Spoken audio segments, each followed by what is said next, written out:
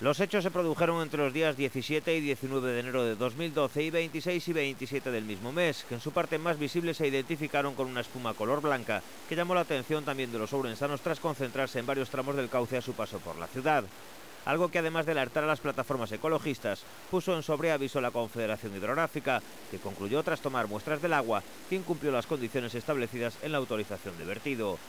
Sobre este expediente sancionador, el alcalde de San Cibrao das Viñas, Manuel Pedro Fernández, apuntó que no había líquidos contaminantes. También afirmó que el Concello abrió expedientes a 17 empresas de los polígonos de San Cibrao das Viñas y de Pereiro por actividades que dañan el medio ambiente. Esta situación no es nueva para el Concello de San Cibrao, puesto que el último expediente sancionador, resuelto el pasado mes de marzo tras los vertidos de la depuradora en el mismo río en noviembre y diciembre de 2010, se saldó con una multa de 4.000 euros, de conformidad con la ley de aguas y una indemnización de 120 euros por daños.